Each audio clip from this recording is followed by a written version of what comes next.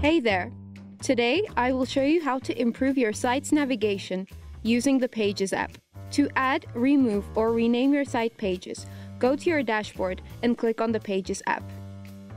There are three types of pages on your Ucraft site main pages, secondary pages, and system pages.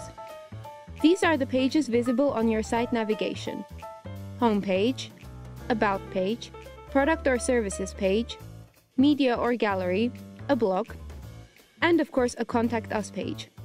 To rearrange the pages or to put them in the desired order, simply drag and drop them around. There is a language switcher on the top left corner. It allows you to manage the pages designated for each language you have added.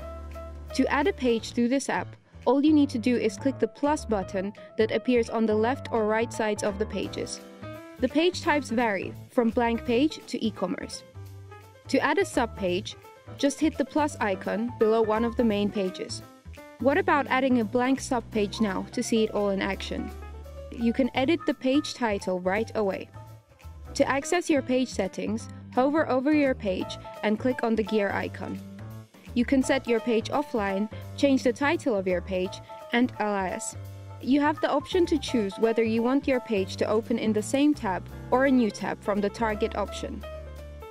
Simply hit Visibility and choose the desired option from the drop-down menu to get full control over the visibility of the pages on your website.